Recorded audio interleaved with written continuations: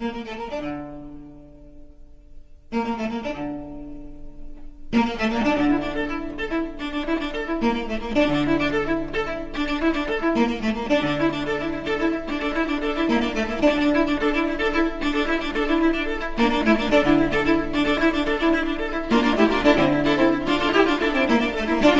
otro día, el barbero de un amigo casi pierde un ojo cuando le estaba cortando el cabello a un chino.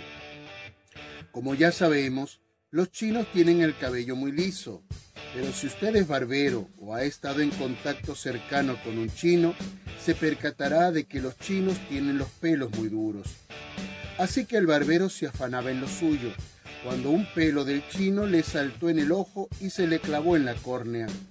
El barbero sintió un dolor terrible, como si le hubieran arrancado el ojo, y empezó a dar tumbos por toda la barbería.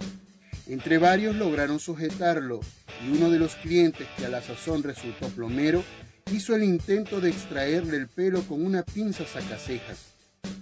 Sí, era plomero, y sí, tenía una pinza sacacejas. Pero el barbero sentía tal dolor en el ojo que se sacudía como un poseso que ha visto al exorcista Constantín entrar por la puerta.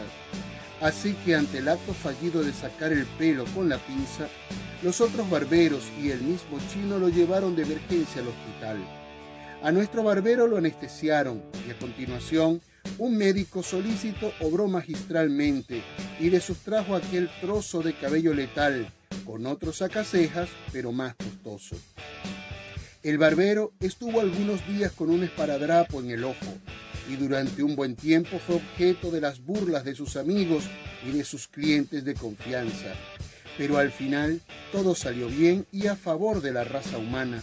El barbero tomó cervezas gratis en el restaurante del chino por un mes y el chino no se cortó nunca más el pelo.